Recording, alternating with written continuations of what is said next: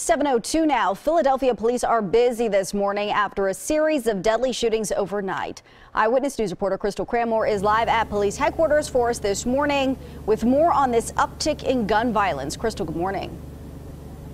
Good morning, Jan. Well, lights and sirens have seemingly been going nonstop over the last several hours as police respond to one shooting after the other. Now, I want to take a second to show you guys some video of one of the shootings. Police searched for clues in the shooting death of a 20-year-old man. This happened just before 10 last night on the 1400 block of Pattison Avenue in South Philadelphia. Police say the victim was shot once in the chest. He was then rushed to the hospital where he was pronounced dead.